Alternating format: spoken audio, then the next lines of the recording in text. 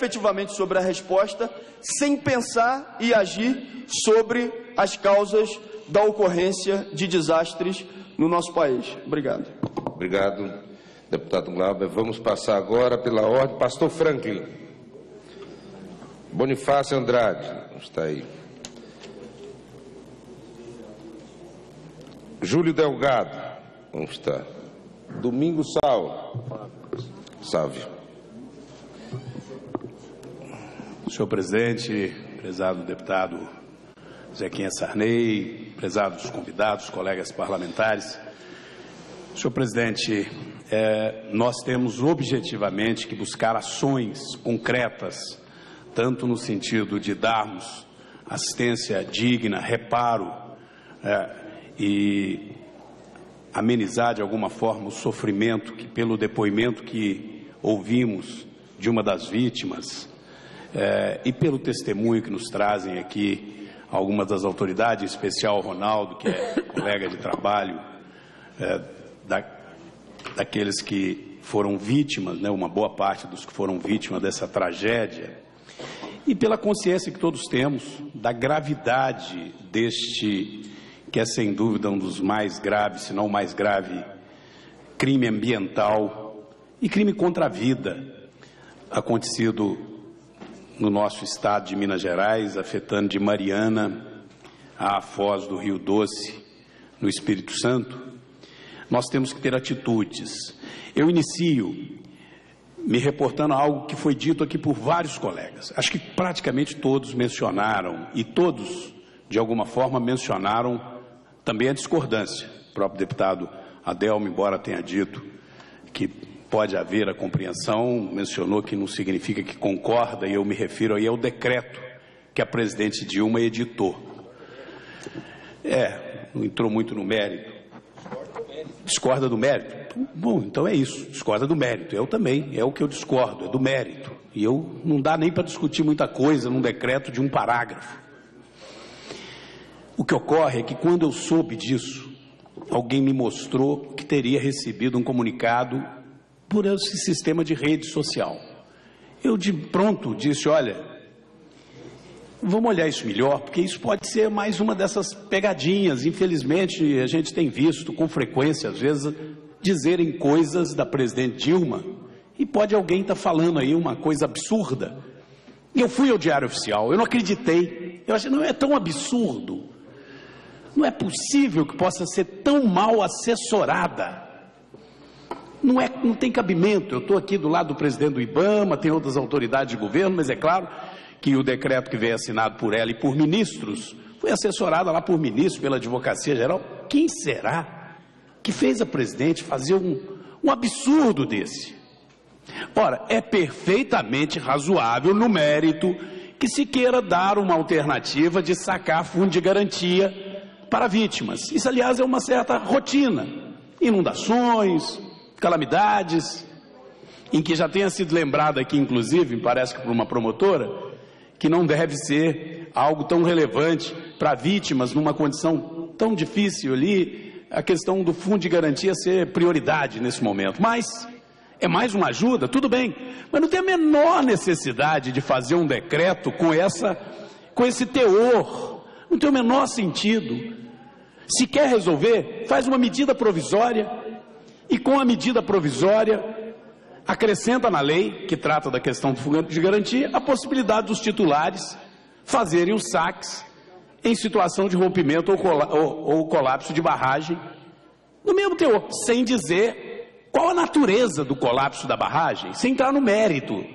Não tem que entrar no mérito. Rompeu uma barragem, afetou casas, faz uma medida provisória.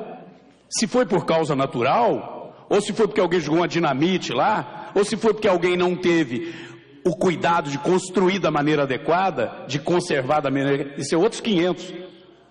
Liberar o fundo de garantia é para socorrer vítima, mas não. Me faz um decreto, e no decreto diz que o rompimento deve ser considerado como de causa natural, para fins de sacar o fundo de garantia. As pessoas já estão agora indo sacar o fundo de garantia, está sendo acolhido. Olha, eu estou sacando o fundo de garantia porque eu fui vítima do rompimento da barragem lá da Samarco. E o decreto da presidente me dá condição, porque o decreto diz que é causa natural, diz que eu tenho direito e diz que é causa natural. Ora, ainda que todos cheguem até a conclusão de que seria um absurdo a justiça acolher isso como motivo para a empresa dizer que é um álibi, olha, foi causa natural. Mas eu achei curioso que elementos da empresa, logo no dia do evento, insistiu em declarar por mais de uma vez que houveram pequenos abalos sísmicos, como se aquilo ali fosse uma novidade. Eu até vejo o presidente do Ibama sorrir, porque realmente dá para rir de alguém querer associar aqueles abalos sísmicos naquela escala com a possibilidade de uma tragédia dessa. Abalos sísmicos como aqueles ocorrem todos os dias no território nacional. Nós não sabemos onde, pode estar ocorrendo aqui agora, a gente nem percebe. São absolutamente naturais, normais e não são capazes de promover essas tragédias. Fosse assim, romperia-se todas as barragens que existem por aí, são milhares. Barragens de rejeitos mesmo, são centenas e centenas. Portanto, é um absurdo a senhora presidente assinar um decreto dando margem ao entendimento que o rompimento daquela barragem é de causa natural. É um absurdo.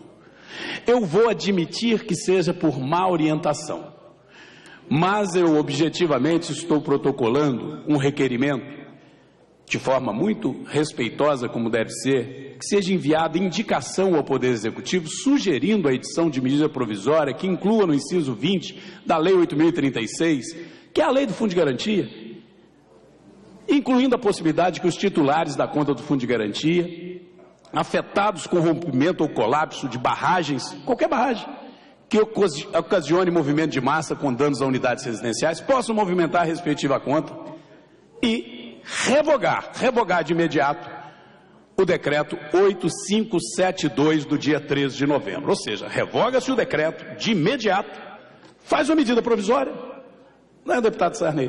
Faz uma medida provisória, garante para essa ou para qualquer situação, é absolutamente tranquilo, lícito. Agora, se não acolher isso, aí vai caber começar a refletir, no mínimo, que o jurídico das empresas que são responsáveis por isso e que têm que assumir suas responsabilidades, se valham no momento oportuno, passado todo esse. Não foi dito aqui agora mesmo que a empresa que teve uma multa de X reduziu para quantias bem inferiores e ainda parcelou, e até hoje não se sabe, não se encontrou inclusive parte dos corpos daquele acidente trágico e terrível que ocorreu lá em Cataguases. Portanto, não vamos nos iludir. Nós temos que exigir da empresa Samarco que ela arca, arque com as suas responsabilidades com relação às vítimas, com relação à municipalidade, porque ali destruiu estrutura urbana, e principalmente com relação ao meio ambiente, que é o dano mais grave e de médio e longuíssimo prazo. Exigir de maneira dura. E aí, simultaneamente, eu já concluo, nós temos que agir no código minerário, sim. É triste, é matéria que deveria ter um sentimento suprapartidário, mas eu não posso deixar de dizer que a responsabilidade, como disse o deputado Glauber, é dessa casa. Mas olhe, eu não posso deixar, deputado Adelmo, de lembrar que o PT, que além de comandar o governo, tinha o relator. O PMDB presidiu e preside essa casa, a comissão. Eu estive lá por alguns meses como suplente. Não andou, a coisa não funciona, era invertido. O, o relator do PMDB e o presidente do PT, exatamente. Não andou, uma coisa curiosa, apresentaram lá umas propostas até boas. Depois, engraçado, parece que tinha, devia ter mais reunião com as empresas interessadas do que com essa casa, porque a gente tentava ter uma reunião para votar esse relatório e nunca conseguia votar esse bendito relatório. E concluo para falar um pouquinho sobre o nosso DNPM, que lá na, na, na reunião está sendo sucateado, está sendo destruído, não tem concurso, não tem funcionário para fiscalizar. E aí a conclusão é essa, que o Ronaldo bem disse: a situação é grave, não há fiscalização, há risco inclusive com a outra barragem. Por último, presidente, além dessa indicação, eu quero fazer também a indicação de que o que o Ronaldo me falou, falou me preocupa muito. E não basta só a Samarco ficar lá olhando para outra barragem que representa risco. Eu acredito que nós devemos requerer à presidência da República que determine que a companhia ou o destacamento do Exército Brasileiro de Engenharias e Estradas vá para lá, ajude a inspecionar, ajude inclusive a, estando, a, a acompanhar esse plano emergencial que precisa estar pronto com rapidez. Nós precisamos do Exército, junto disso, para defender os interesses do povo brasileiro. O que eu vi numa reportagem recente é que lá é a Samarco que comanda tudo. Tudo. As investigações também a Samarco comanda. Não, o DNPM tem que ir lá para dentro, o Exército tem que ir lá para dentro. E nós temos que exigir que essas empresas respondam pelas suas responsabilidades. Agora, o governo federal fazer um decreto desse é uma vergonha. Tem que revogar logo esse decreto, fazer uma medida provisória, garantindo direito aos trabalhadores, mas sem colocar em risco aí é, o, o, a possibilidade de cobrar a responsabilidade da empresa, porque o decreto pode virar um álibi em favor dos criminosos. Presidente. Obrigado. Pois não, não. Vossa Excelência me permitir, eu tenho duas questões que me parecem é, importantes nesse momento. Primeiro, que existem algumas dessas é, represas que estão em que, que são em situação de risco, de perigo iminente, perigo iminente, que a gente pudesse encaminhar então uma recomendação para que os governos de Minas e o governo federal tomassem medidas imediatas para um plano de contingência de segurança para toda a comunidade que eventualmente está ameaçada. Não vamos mais. Porque o que a Rosilene colocou, se fosse à noite, não teria um dos 600 ali, não teria um sobrevivente. Então, se isso acontecer agora, como existem riscos, vamos tomar cuidado. E se me permitir, eu, eu, quando eu disse que eu sou no mérito contrário, acho que não, é nem no, na forma, é no mérito, muito menos aí eu sou favorável ao encaminhamento do Domingos. No mérito, eu, um desastre causado por, né, tem nome, tem a pessoa responsável, tem instituição responsável. Dizer que. Nós para, temos um orador inscrito ainda concluir, no, no Só para concluir, dizer que as pessoas têm direito de sacar o fundo de garantia, às vezes lá no limite da vida. Eu acho que isso é uma maldade, não é bondade, isso é crueldade. Vamos formar um fundo de contingência, um recurso especial, para que as pessoas possam sacar e possam sobreviver, mas tirar do seu bolso. Vítimas dessa situação ainda sacar o dinheiro de 20, 30 anos de trabalho, isso é crueldade, isso não é bondade nenhuma. Então é no mérito, Domingos. Por isso que eu queria recomendar que também não faça essa proposição, não. Vamos buscar outras fontes em que as pessoas possam é, manter, pelo menos a dignidade. O que eu quero é tão somente que revogue o decreto. É Só coerente, isso. É coerente, Se Vossa Excelência não quer que libere o fundo de garantia, tudo bem. Mas eu quero que revogue o decreto. É isso que eu quero, porque esse decreto é um atentado contra a moralidade. Deputado Admilson, nosso último orador inscrito Presidente, como deputado federal. Ah, tem, tem... ah, peraí, desculpe, desculpe. Nós temos Sérgio Vidigal. Então não, não generaliza porque... Presidente Sanei Filho, a todos. Não, deputado, é, me desculpe, eu não tinha visto, tem um anterior a Vossa Excelência que estava aqui ah, ainda, tá. já está há bastante tempo. Então, Vossa Excelência, depois da fala dele, vai. Obrigado, senhor presidente. Senhor presidente, quero aqui também cumprimentá-lo e cumprimentar todos os membros da comissão pelo. Tem gente, tem orador aqui com a palavra. Vamos, depois a gente discutir. Pela comissão que foi constituída e por essa audiência que eu acho que ela é extremamente importante. E aqui eu ouvi atentamente e eu gostaria de atuar aqui em cima de três temas, inclusive levando alguns questionamentos à mesa. É, como dissemos, disseram aqui, eu também sou do Espírito Santo e nós passamos a amar o Rio Doce, tal qual os mineiros. E a gente fez até uma troca com os mineiros. Nós nos banhamos no Rio Doce e os, os mineiros se banham no nosso mar. E, e a gente observou, tem observado o noticiário. Eu queria aqui, e, e tem, duas, tem duas, é, dois testemunhais que foram feitos aqui que me deixou muito apreensivo, né? E evidentemente solidário. O primeiro foi da Rosilene, né? Mostrando o sofrimento das vítimas, né? E o segundo foi do prefeito da cidade.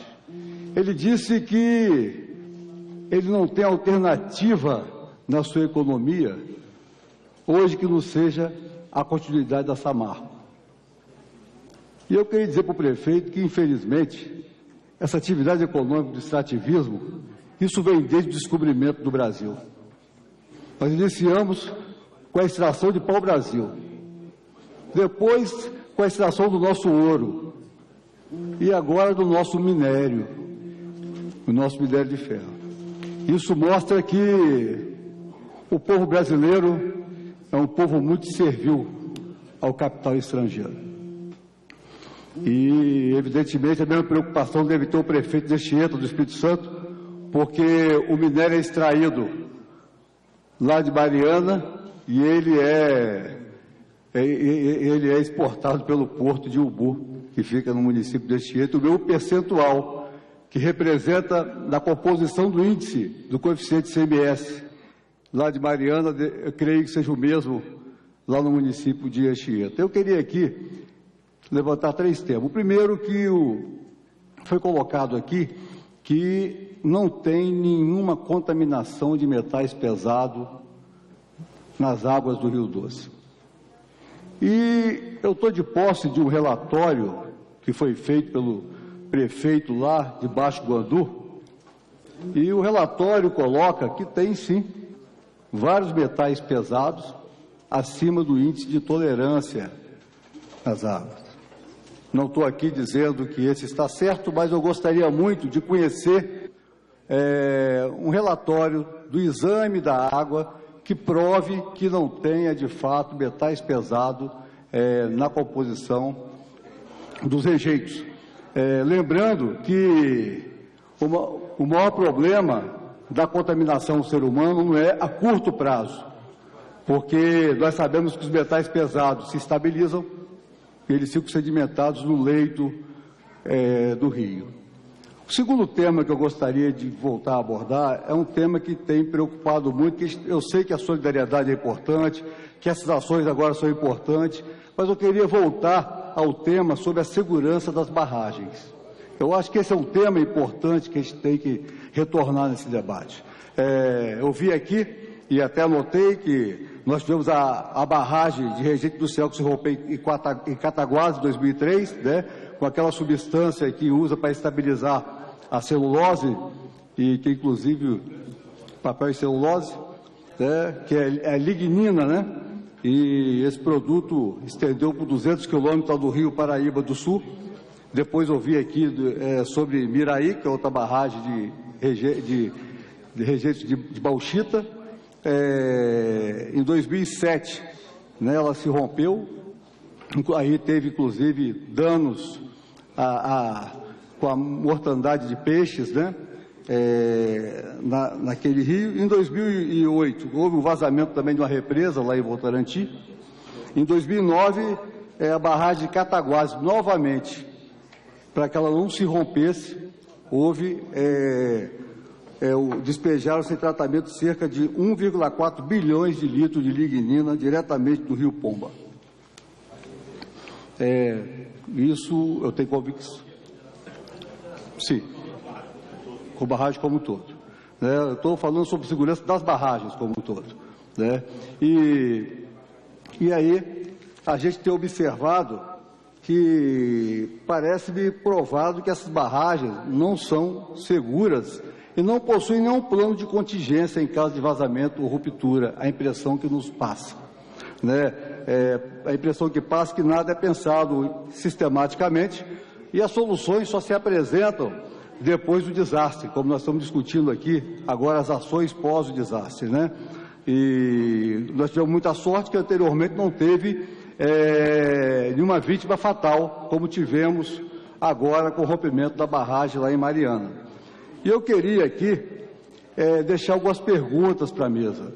É, baseado até na Lei 12.334 de 2010, que é uma lei que a princípio parece uma lei que dá uma certa segurança, inclusive na fiscalização. Né, na fiscalização. É, e eu sou, talvez eu não tenha entendido bem, eu queria aqui questionar um pouco que eu entendi da, sobre essa lei. A primeira pergunta que eu queria deixar aqui, que a impressão que passa, até pelo, pelo inciso 2 do artigo 16, que a fiscalização ela se dá muito mais por responsabilidade é, da empresa, é o que eu estou entendendo, né? ou seja, os órgãos fiscalizadores, eles se limitam a aceitar um laudo que a própria empresa contrata e emite. Essa é a visão que me passa aqui. Né? Eu queria aqui discutir isso aqui na mesa. A segunda é a impressão que passa que ninguém cobra das empresas a implantação de sistema de aviso. Aqui na lei diz que tem, tem um plano de ação de emergência. Está aqui na lei. Mas a impressão que me passa é que não, não se cobra isso das empresas, um plano de ação de emergência, e a lei diz que a empresa só vai fazer se ela for provocada. Né? Eu, tô, é, eu queria ouvir um pouco é, da mesa. E a, a, terceira, eu queria saber, assim, eu vi dia uma foto muito forte que mostra a barragem de Santarém com rachaduras e um caminhão tombado em deslizamento. Eu queria saber quais são as condições de trabalho nessas barragens. A outra questão, eu queria passar até para o sindicato, e me perdoe a pergunta que eu vou fazer. É, o sindicato ele não teria sido omisso em não denunciar essas condições que estavam vivenciando os seus trabalhadores naquela oportunidade? E por último, eu queria aqui, baseado na reportagem do jornal Valor Econômico e Folha de São Paulo de hoje, é, ele afirma que há 16 barragens de mineração que são inseguras. Isso o jornal afirma. E isso segundo os dados das próprias empresas informados em 2014 é, imagino eu que sejam dados independentes. É, talvez nos mostrasse um quadro ainda muito mais grave. É, ontem a Samarco reconheceu que outras duas barragens da região de Mariana estão em risco de colapso. Eu queria aqui deixar um outro questionamento. Nós já não temos dados suficientes que demonstram que a fiscalização, o controle e as medidas de segurança precisam ser revistas nesse país? Senhor presidente, muito obrigado. Hein? Obrigado. Obrigado. É, depois que acabarem os oradores, nós vamos ouvir o que a mesa tem a dizer a respeito das perguntas, inclusive das perguntas que foram feitas aqui pelas outras pessoas que não são parlamentares. Então, vou passar rapidamente a Gisela para que ela possa é, responder a pergunta sobre a. Não, não, ela vai responder porque ela vai ter que sair. Depois a gente volta ao normal e os outros respondem. Volta a seguir normal. Deputado falar rápido sobre o laudo que o senhor citou do prefeito de Baixo Andu. Eu sou diretora da Agência Nacional de Águas, estava em Colatina quando o prefeito apresentou esse laudo. Esse prefeito apresentou esse laudo antes da mancha de rejeito passar em Baixo Andu. Então, assim, ah, eu acho que quando você tem, estava lá toda a Defesa Civil, estava lá a agência, estava lá todos os órgãos estaduais e tudo mais, enfim, o prefeito realmente estava é, numa, numa ação bastante forte, inclusive queimou pneus em cima da, da, da das linhas férreas da Vale e tudo mais, realmente tinha uma coisa muito forte embaixo do Andu, mas uh, a mancha do rejeito, ela ainda nem havia passado embaixo do Andu. Eu não vi o laudo, ele estava lá com o laudo, nós estávamos junto com o prefeito de Colatina. Eu ainda imaginei que fosse talvez um background, porque a bacia já tem um background de, enfim, de, de, metais pesados e tudo mais. A gente sabe que essa bacia, há muito naturalmente, essa bacia há muito tempo já vem sofrendo com esgoto sanitário, com desmatamento e tudo mais. A gente vem acompanhando isso faz anos. Inclusive com um plano de bacia para o Rio Doce que a agência é, disponibilizou. Uh, enfim, esse plano foi validado pelo Comitê de Bacia, que o, o prefeito de Colatina é o presidente de Bacia, inclusive. Mas, enfim, esse laudo ele apresentou como sendo um laudo é, ali próximo abaixo do Andu, mas a, a mancha tinha sequer passado ainda. Tá? Mas você, a senhora tem algum laudo Não, que comprova? A, a... Porque a impressão, eu acho que eu ouvi, posso ter me equivocado, que o, o, general tinha comentado que os rejeitos não tinham substância isso, tóxica. Isso, o que, a gente, o que a gente tem se baseado é, é são os laudos da CPRM, que a CPRM está coletando em 13 pontos, está coletando sedimentos, está coletando metais pesados tem quatro amostras já concluídas e eu é, é, tenho certeza que o general Adriano estava se referindo a esses laudos da CPRM que demonstram que não tem metais pesados na água. Zé, só fazer um comentário. Eu acho que o general estava referindo a qualidade da potabilidade da água que a população estava consumindo. Sim. Depois dos tratamentos colocados. Eu estou falando da água bruta é, no rio. Então a certo? população estava com água potável. Sem dúvida. E é isso que eu queria ressaltar. Então... Porque já a população de Governador Valadares hoje já tem 70% do seu abastecimento restabelecido.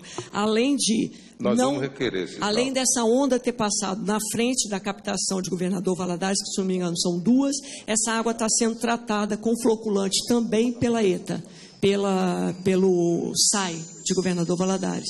Então eu só queria fazer essa deputado, explicação. Obrigada. Obrigado, deputado Edmilson. E depois, para encerrar, deputado Roberto Salles. Abrir votação nominal. Então, e o tempo é curto, tem que ser breve. Mas eu queria fazer algumas colocações. Primeiro é o seguinte: muita gente fala nos Estados Unidos como referência de república, mas para algumas coisas se esquece. Deixa de ser referência. Aqui foi falado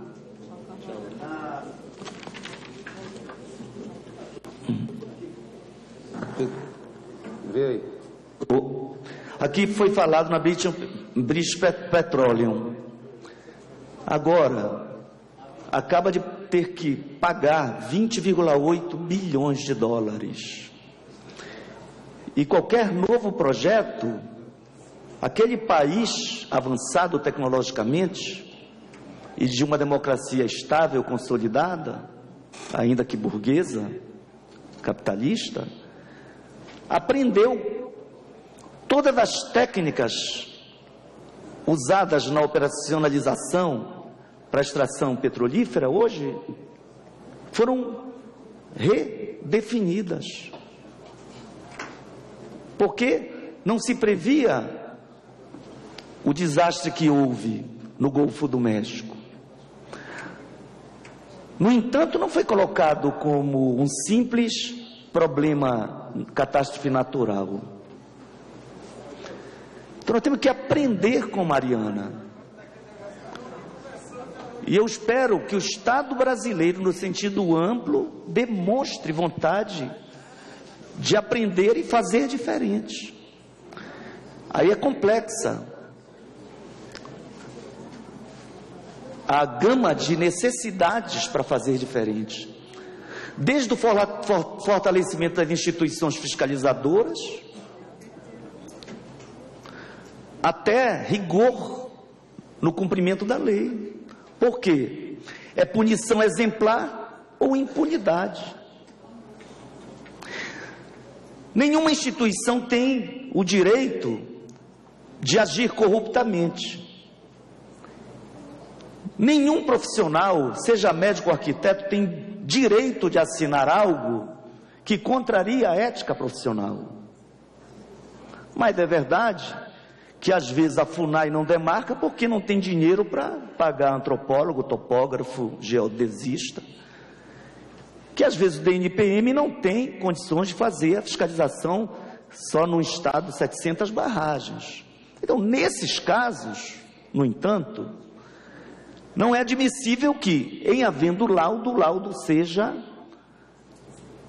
condescendente com a irresponsabilidade da empresa. Mas mesmo que esse laudo de dois meses atrás tenha fechado os olhos a problemas estruturais, o que é grave, os técnicos têm que responder. A empresa tem obrigação de cumprir a legislação, inclusive no que diz respeito aos riscos. Não há desculpa. Nem mesmo o laudo favorável abranda a responsabilidade dos oligopólios envolvidos neste e em outros projetos. Então são muitos problemas para enfrentar. Eu acho que o grande desafio é aprender com Mariana. E hoje eu vi, não sei se foi no Jornal Nacional, me desculpem, eu não sei, no Jornal Bom Dia Brasil, não sei se foi. É possível que eu saí cedo de casa.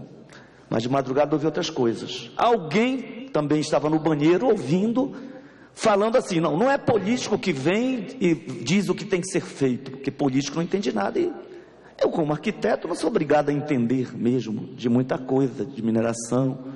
Não tenho obrigação de saber o que um geólogo deve saber. E nem todo geólogo sabe de geofísica, a, hidro, a hidrogeologia tem as suas especificidades, enfim, teve especialidade. Agora eu queria dizer que eu não aceito essa coisa de que não há risco zero ainda. Que nós saibamos que em países avançados, como o Japão ou outros países, há coisas imprevisíveis. Às vezes um tsunami é imprevisível. É imprevisível porque é um esforço muito grande prever o movimento de uma placa tectônica. É. No entanto, há grau de previsibilidade. Na cidade de Belém, um calculista jamais vai levar em conta a velocidade do vento, porque já se sabe, ao longo dos séculos, não há ventilação muito acima de 2,5 metros por segundo. Mas se foi Buenos Aires já há de se considerar, mesmo no Brasil.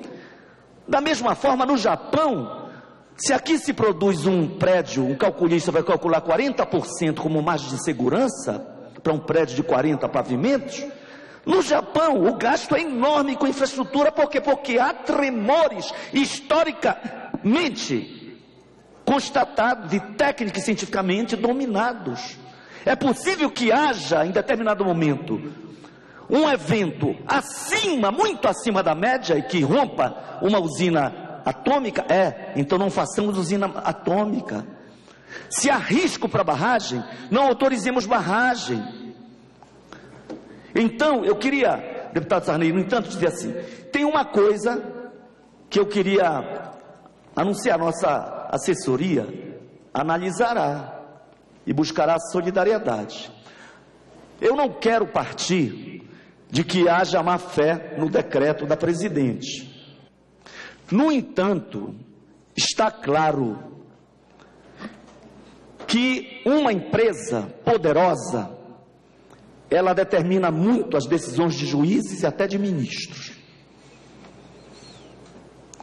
Uma empresa poderosa pode usar um laudo do NPM para tirar a culpa que é sua.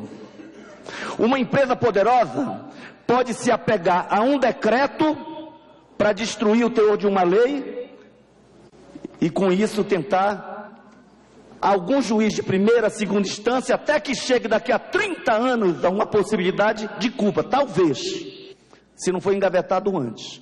Então, presidente Dilma Rousseff, pelo respeito que eu tenho a Vossa Excelência, revogue esse decreto e o retifique, porque o objetivo é humanitário, o objetivo é positivo, é permitir que o trabalhador que contribui para o fundo possa usá-lo em momentos de crise.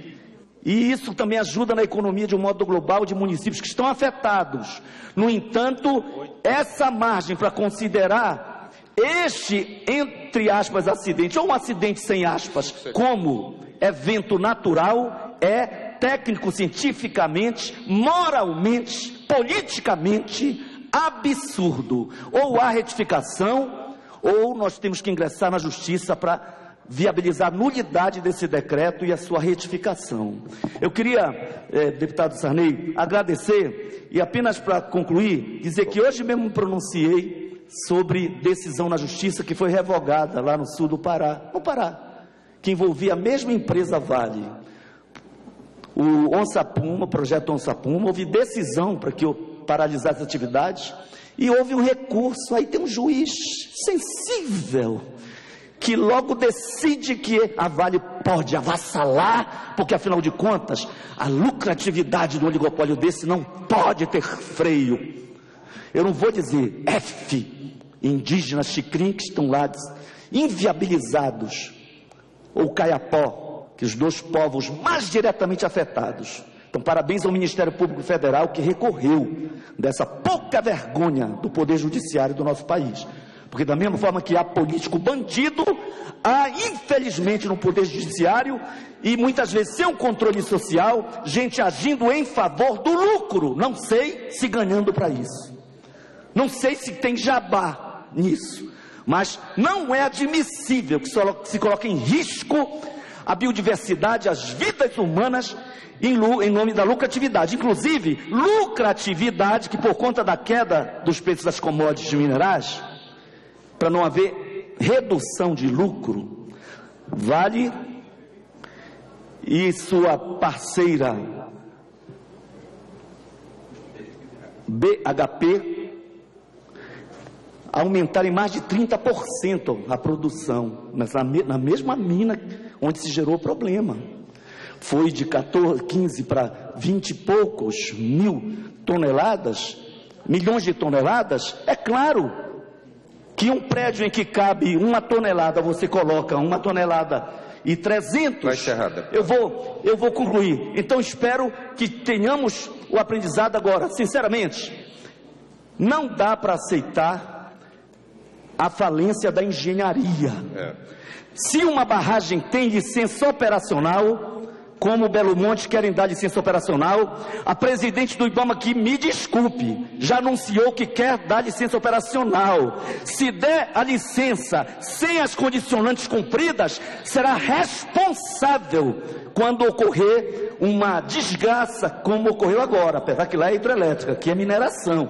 Mas não vamos aceitar. E por fim, presidente, houve um pedido aqui de um sindicalista da região que de onde o sindicato, inclusive, está ligado, da, que é ligado a, a, a, com lutas, a central sindical, que é o Paulo Barella, que, se fosse possível ainda usar a palavra, seria também no âmbito dos trabalhadores. Dizer, tenho um carinho enorme e um respeito, vou concluir, um respeito aos nossos servidores, eu acho que houve falha, no entanto.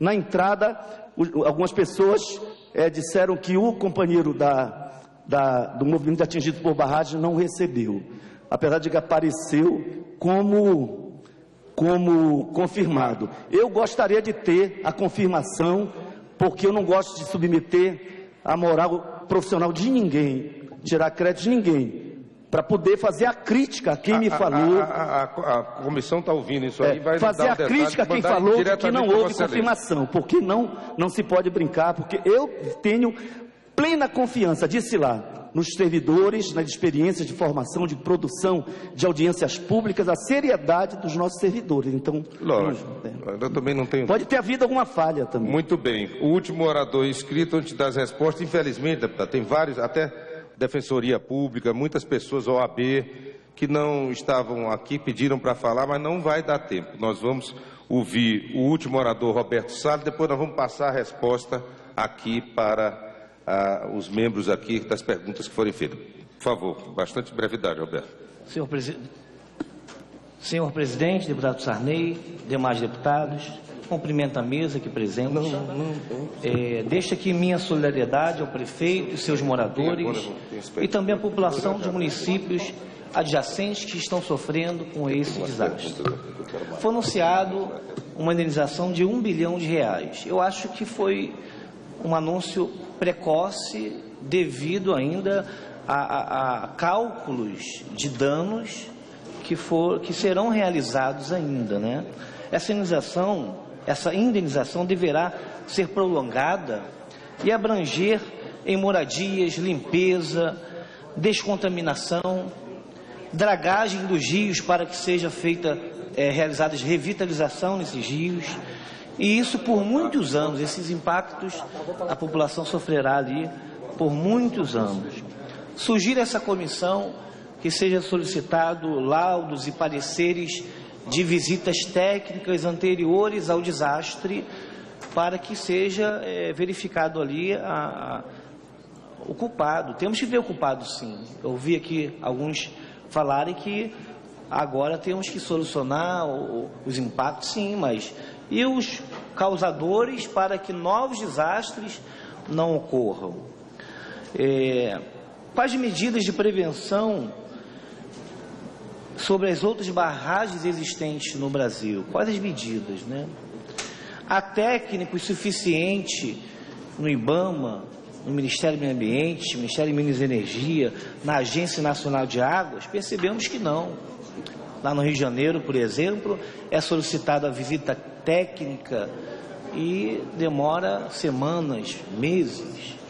Temos que ver essa questão para reformulação da estrutura desses órgãos reguladores e fiscalizadores. Sugiro que o DNPM suspenda ou revogue as outorgas e autorizações das empresas envolvidas nesta localidade. Porque tem que haver penalidade. São essas as minhas considerações. Muito obrigado. Muito obrigado. Passa a palavra agora Ronaldo Alves Bento, para suas considerações.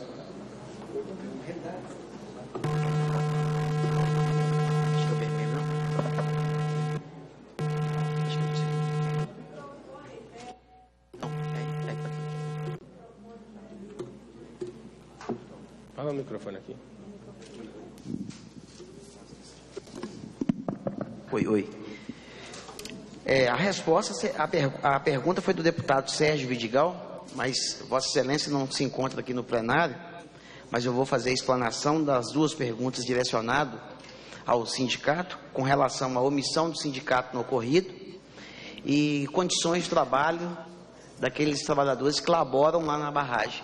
Como eu havia dito aqui a princípio, nós temos uma representatividade limitada referente a Samarco. As demais empresas que laboram, tá, provavelmente das próprias empresas que tiveram pessoas vitimadas ali, não são de representatividade do sindicato.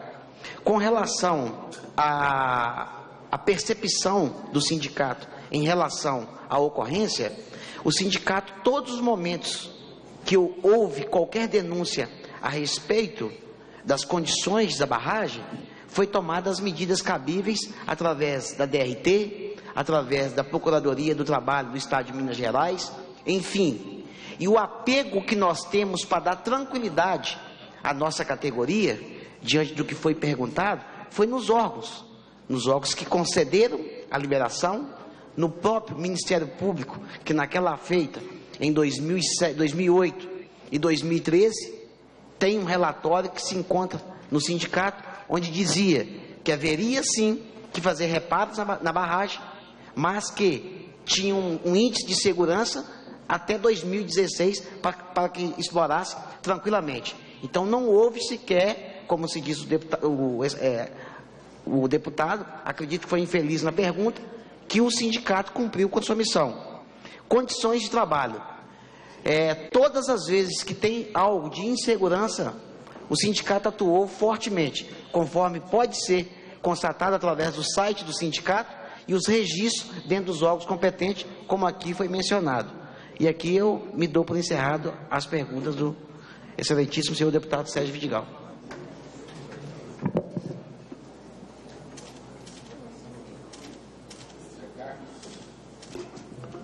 José Carlos Sales Campos, do Departamento Nacional de Produção Mineral.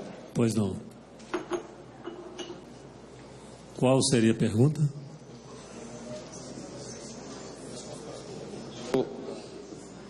Você fica à vontade para responder as considerações que foram feitas até agora e, se não desejar tratar disso, pode fazer suas considerações finais para nós concluirmos aqui a nossa audiência pública. Ok. É, eu acho que a gente deve acrescentar, realçar, que foi conseguida a liberação aí de em torno de 9 milhões é, de ações emergenciais para a gente tratar principalmente, é, em primeiro, aliás, nesse, com esse recurso das barragens do quadrilátero ferrífero, de forma preventiva, é, que vai envolver contratação de auditoria independente para poder auditar a, a classificação autodeclarada das barragens cadastradas, né? É, também a contratação de empresa para assessoria é, aos técnicos do NPM para execução de fiscalização em caráter emergencial nessas barragens, além de um convênio com a CPRM para ações também com vistas a garantir uma maior segurança na, na, nesse controle das barragens, e cooperação também com universidades e centros de pesquisa é, para treinamento de alguns técnicos da NPM para é, vistorias futuras. obrigado. Eu vou ler aqui as perguntas ou considerações.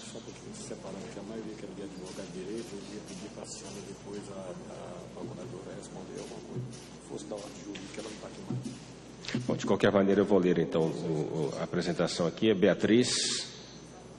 Eu queria que o pessoal me ajudasse, quem escreve aqui, porque eu tenho que fazer a tradução de algumas de alguns nomes. Quem que escreveu o texto aqui? Você me ajuda?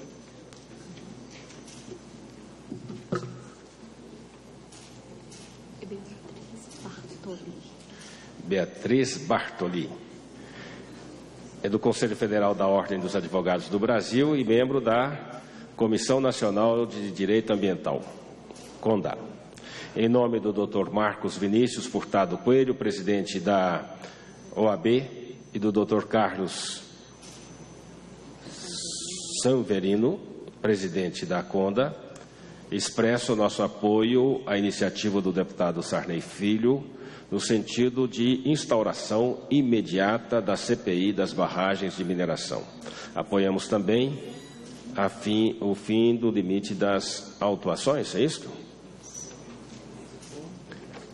Roberta, assistente social, dirigida para o presidente, para que possamos ser objetivo atendendo o pedido do prefeito de Mariana e é muito importante que tenhamos a lista correta dos municípios atingidos dos dois estados.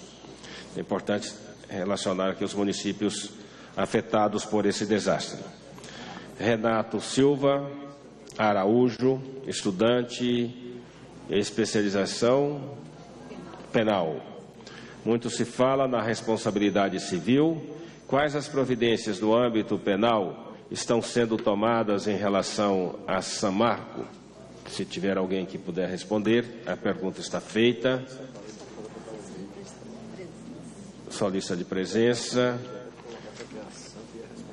No dia 23 do 11, esse é um recado, 23 do 11 de 2015, acontecerá uma força-tarefa da Defensoria Pública da União em Mariana, prestando assistência jurídica à população. O acontecimento é resultado do acordo entre o defensor público geral e o prefeito de Mariana.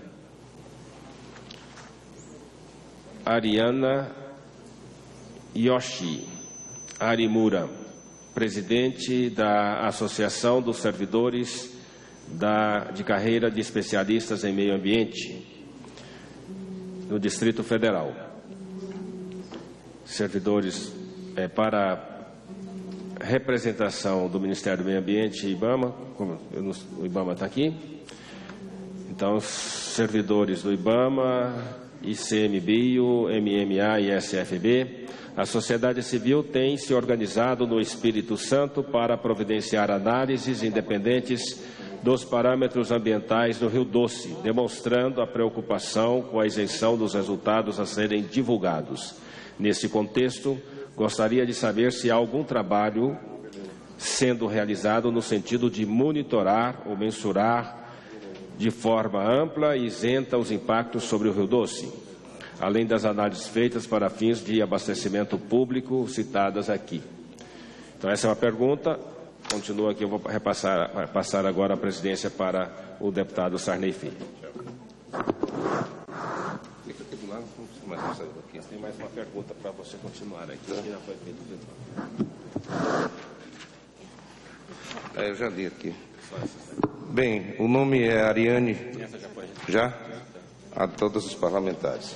A catástrofe ambiental de Mariana exigirá do país rever muitas questões relacionadas à minimização e mitigação de impactos ambientais de empreendimentos, bem quanto ao gerenciamento de riscos.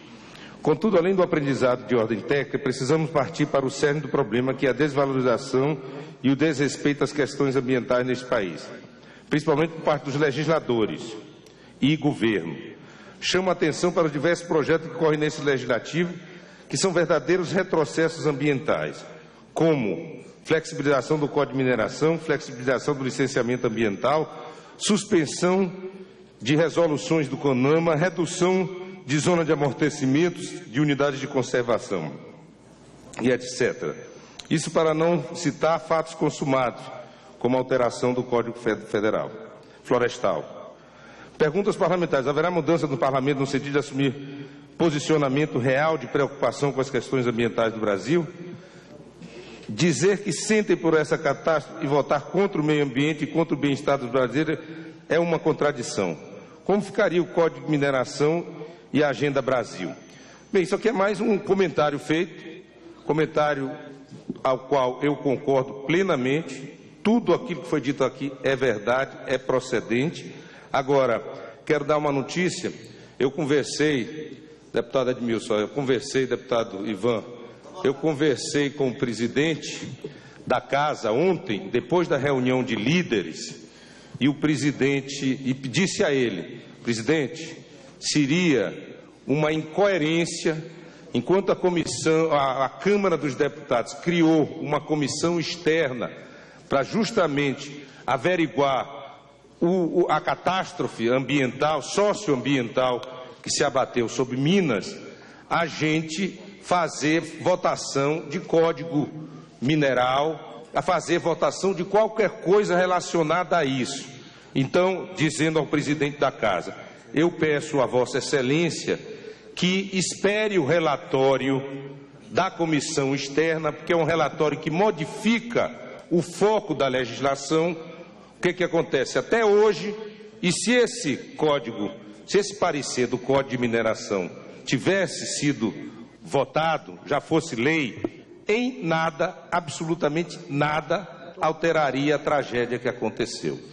Então, o foco da nossa legislação, historicamente, na legislação de mineração, tem sido privilegiar a atividade minerária em detrimento da segurança, das garantias das pessoas que vivem no local, que são direta ou indiretamente afetadas por aquela atividade.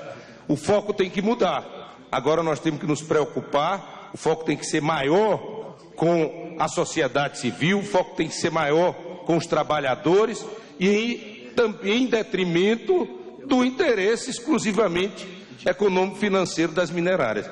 Então, esse foco vai ser a base da nossa sugestão como é, coordenador do, da, da comissão externa da Câmara. Nós vamos mudar o foco Evidentemente, eu acho que todas essas propostas que nós discutimos na comissão especial, o relatório, tudo isso tem que ser zerado. Tem que ser zerado. A catástrofe, infelizmente, infelizmente é, teve que acontecer uma catástrofe que a gente pudesse se sensibilizar, sensibilizar o parlamento para que avanços for, é, fossem feitos. Assim eu acredito. E nós temos que andar rápido deputado Ivan Valente, porque daqui a pouco pode passar o calor da discussão, o calor da comoção e aí voltar tudo ao que era antes.